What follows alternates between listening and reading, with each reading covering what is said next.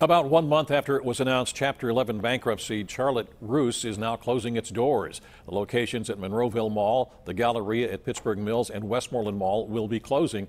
The company's website says its online store is no longer in operation and the going out of business sale begins tomorrow.